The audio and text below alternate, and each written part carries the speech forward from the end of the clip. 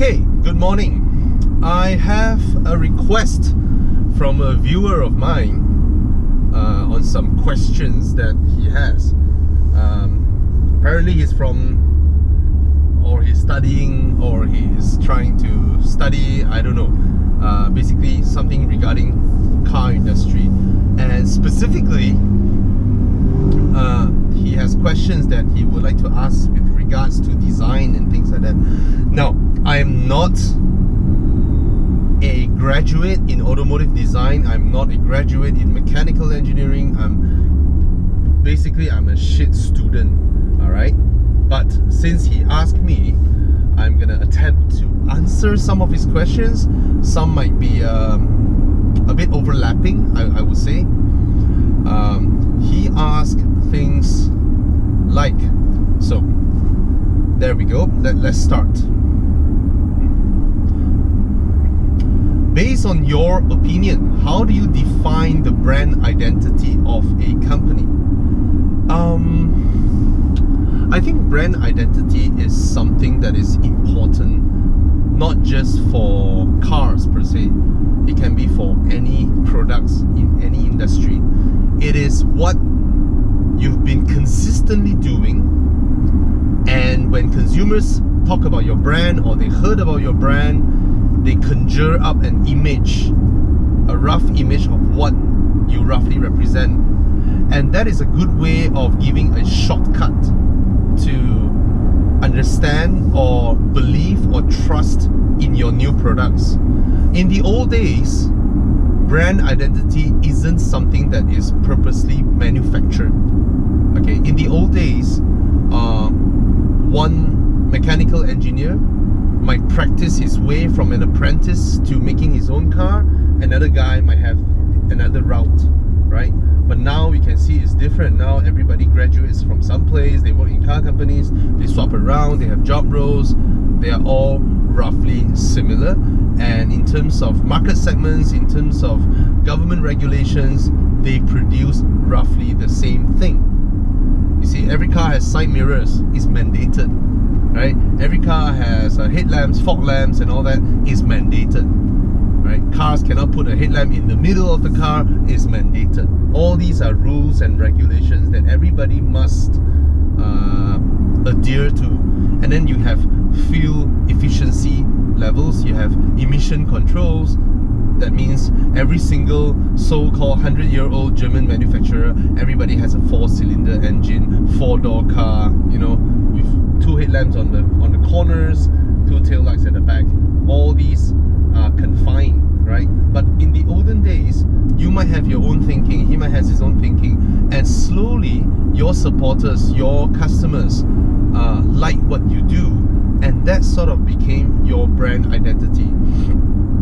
So, um, in terms of a brand identity of, of any company, I think that is important. Like you think of BMW, right? You think of uh, sporty driving behavior. You think of uh, motorsports, even though they don't participate in that many motorsports now, right?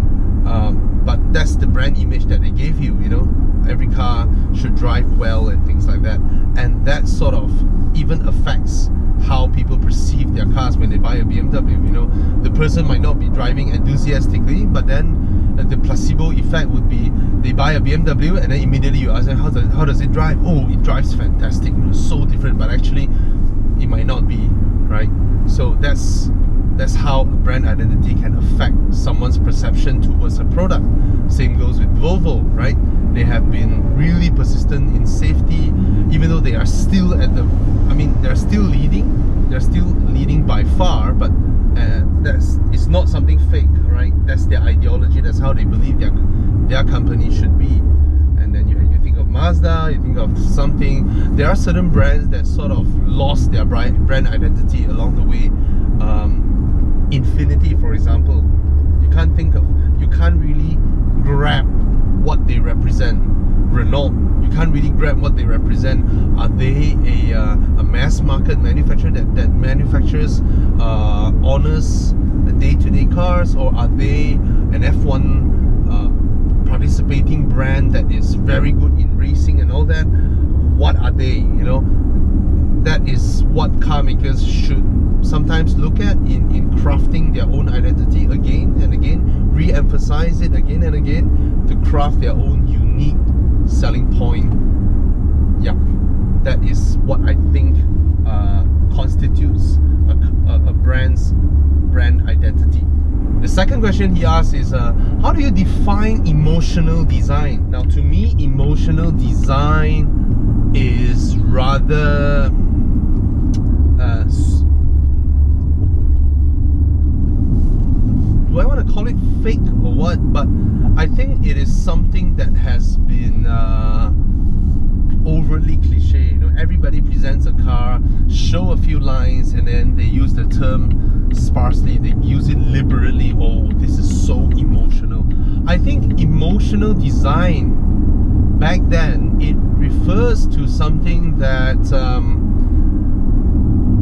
the designer put in a lot of passion, a lot of hard work in it that you as a buyer, as a customer, or just someone who sees it, you can see past uh, what it or what on the surface it represents and you can immediately tell that person put in a lot of effort in coming up with this you know i think that to me at least that to me is what i would term as uh, emotional design. It is not something that can be forced but it's only something that you know it is a line away from overtly design you know. I'll give you an example.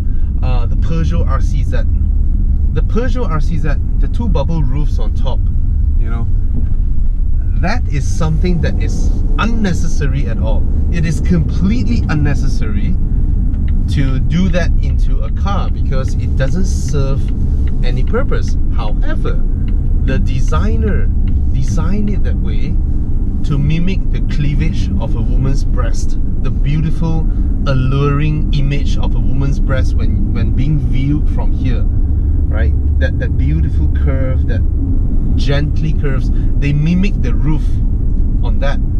And that is something that is so hard to manufacture.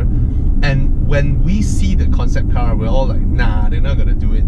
But they did it, right? They went through all the effort, pushed through the management and all that to to give the nods, you know, to give the go ahead. And that to me is some form of emotional design. And of course, in contrast, you have cars like these, all these that are on the road, you know, the usual cars, you can tell they just sit down there half an hour, draw some lines, and get it over and done with. And that you can tell as well. There's no effort being put into that design. So in contrast, those would be what I call, what I would call um, emotional designs. But there are also those that are overly designed, right? Which is uh, you look at the Civic Type R, right? You have those, those little canards here and there, fake vents, fake grills, fake stuffs everywhere. It, it makes the car look overly sporty.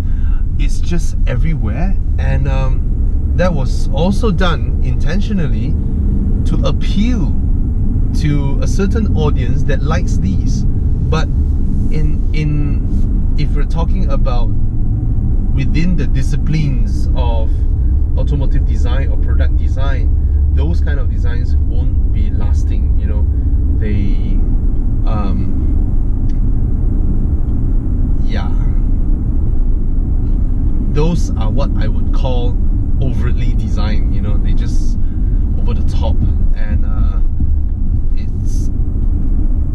yeah. And certain cars, you have the interiors with a lot of lights everywhere. Uh, I would call that overly designed as well. However, if it is used to, to their advantage to further build upon the brand identity, then I give them a pass. So I'll give you an example. Uh, the Mercedes A-Class, the new one, right? From a product design discipline, all right? Those lights in the cabin, all those things are bordering gaudy, you know. But Mercedes is on track or they have a plan to turn their brand to be youthful, okay? And hence, that those lightings in the A class might not be a good design choice when it comes to a product, but it is a good strategic choice when it comes to forming the entire brand, the entire car brand's brand identity. Yeah, that that is uh, what my opinion is. And then he asked another question: uh, Do you think um, brand identity or emotional design, which one is more important? Like I mentioned just now again, brand identity is something real, something that every brand should uh, make sure they they they put some effort in. Now, because when you want to sell your products to a, as large an audience as possible, you can't expect everyone to have the same level of income, right? It's not everybody can afford an S class, right? Hence, you want to use your S class to be your your halo product, you know, the one that attracts people to your brand, the one that makes people respect your brand. But you use your brand identity sparsely, liberally, carry that down to your C classes, your your A class even, and that makes give, give people a very easy shortcut to immediately correlate with your Halo product and makes them feel good, right? So when you're buying an A class, you feel that you're buying a little part of that CLS.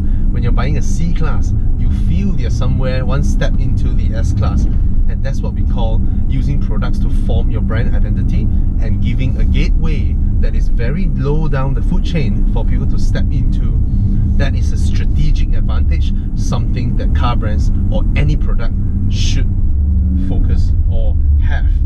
And then when it comes to emotional design, emotional design, uh, I mean, in, in, in the consumer world, you cannot go all out until you violate all the uh, basic uh, rules like manufacturing margins and all that, right? You can't design a car with basically you can't have your designer having a free play doing whatever they like you know? Cost is gonna spiral and then at the end you don't you don't earn money. It makes no point right? Um, or when you are strategically planning how to build your products within a certain uh, budget you do not want people to to catch you in trying to cheat a few dollars off here, a few dollars off there. Case in point, the, the current generation of Jaguar products, right? The cars look beautiful. Uh, you can arguably say they look emotionally good as well, the designs. But when it comes to, to the interior, you can immediately catch them cutting costs here and there. You know, they haven't reached the, the critical volume to generate that kind of significant savings from cutting costs and what they did resulted in them not being able to reach that critical mass. So they shot, they shot themselves in the foot. So I would say brand identity is more important than emotional design. Uh, but emotional design uh, can be something that you put in in certain more important products, but not in every single product that you. Of course, we would love them to put in all this effort, but sometimes there are products where their purpose is to be daily A to B and things like that. So you can design something that is crazy, but at the end of the day, if the parts are expensive and all that, then it makes no sense. However, I need to applaud a lot of European manufacturers when it comes to this. Uh, Fiat, you know, Renault, Volkswagen. You look at all the European models, Volkswagen Up, right? The Renault. Uh, that's not called a Clio, the one smaller than the Clio, I forgot that name. And then you have all the, the, the little Fiats and all that. They all carry some form of emotional design. That means the designers wouldn't let that pass him. He wouldn't sign it off because he attaches his name to it and he wants to achieve something. So their designs are pretty most of the time. And um, the worst offender would be the Japanese, right? Um, they they they are really uh, how do I put this? The Japanese, right? They have cars that are specially made for ASEAN markets only. You know, cars that they wouldn't even uh, want to mention in their history books. They just build them to comply to regulations, uh, or lack thereof and then just to sell and make money but that is that is the scenario that you have to understand that when you make cars you can't just be satisfying the designer himself right so another question are there misinterpre misinterpretations from consumers with regards to uh, uh, a product's brand identity within the context of, of, of design. Um, there are some certain to a certain extent, uh, but I don't think this is an issue at all. I mean, uh, Kia can build an Optima that looks like a very very sporty or rear wheel drive 5 series and I don't think that is a misinterpretation as, at all because consumers like it, people like it, they buy it. If they buy your car because of the design, whether you carry the performance to match your design or not, it doesn't matter, right? So, uh, yeah, I don't think that's an issue. Okay, the last question would be uh, basically it's a bit repetitive. It's about uh, whether the brand identity can be forged further by emotional design or um, I I would say that design is only one part on how you form your brand identity because your brand identity there are a lot of other things that affects your brand identity right? Whether your product is reliable or not whether your product carries with it uh, great performance or not uh, all these played a role in in basically building up your brand identity. So um, yeah design is only one part. It's only one small aspect of uh, brand identity I would say. So mm, it doesn't you can't use design to completely build your brand identity. I mean there are exceptions. Mini Cooper for instance alright? They have such a strong uh, design ethos when it comes to their product lineup that nobody can copy it. No one and uh, but if minis aren't so nice to drive if they are not well built that design wouldn't do much for them. Alright I guess most of the other questions are sort of repetitive. I think I hope I have answered some of your questions. And um, good luck in whatever you're doing with these. If you need more questions just uh, throw it to me. Cheers